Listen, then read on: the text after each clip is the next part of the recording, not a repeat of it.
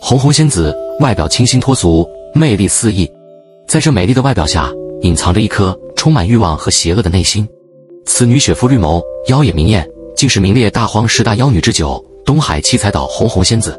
红红仙子对美食的渴望，有着极其刁钻的口味，对于各种珍稀的美食有着极高的要求。据说她曾经为尝一道传说中的美食，不惜耗费大量人力物力，甚至将整座城市夷为平地。红红仙子有强大的法术和修为，擅长用毒术和蛊术，